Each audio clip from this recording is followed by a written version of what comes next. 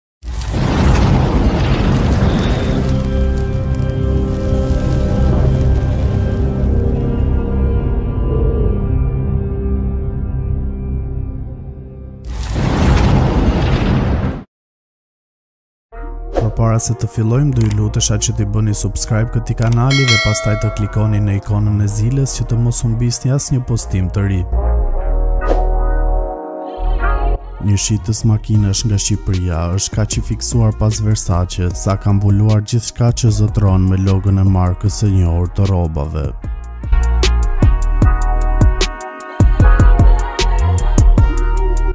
Shenki Maslani, 30 vjeç, banues në Maqedoni, tha se ka shpenzuar 7 vitet e fundit duke vënë në shtëpi makina dhe rroba me kokën e famshme të Meduzës, e cila është simboli i Versace-s.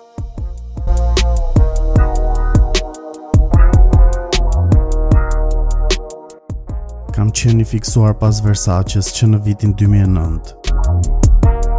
Fillova të blija rroba nga Versace dhe bëra çdo send në shtëpinë time me Versace, duke filluar nga banja e deri tek çarçafët.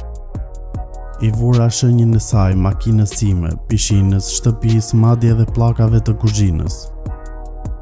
Logon e Versace-s e kam vendosur edhe tek bizhuteritë e mia, tapetet, perdet dhe gjithçka që më rrethon. Madje edhe pjatat nga të cilat haj kanë shenjën e Versace sipër. Jeta ime është Versace, tha ai për mediat. 30-vjeçari tha gjithashtu se kishte shpenzuar shumë për të përmbushur fiksimin e tij.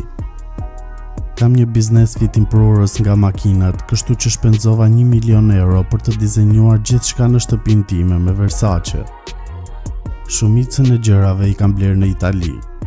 Unë jetoj në ëndrrën time Versace dhe nuk pendohem që kam paguar 188 euro për tutat e mia Versace ose për çorapet të cilat kushtuan 25 euro.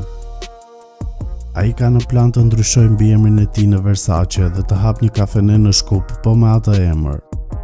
Mendoj se kafenea do jetë shumë tërheqëse për klientelën dhe kam në plan të ftoj legjendaren Donatella Versace për të bërë inaugurimin.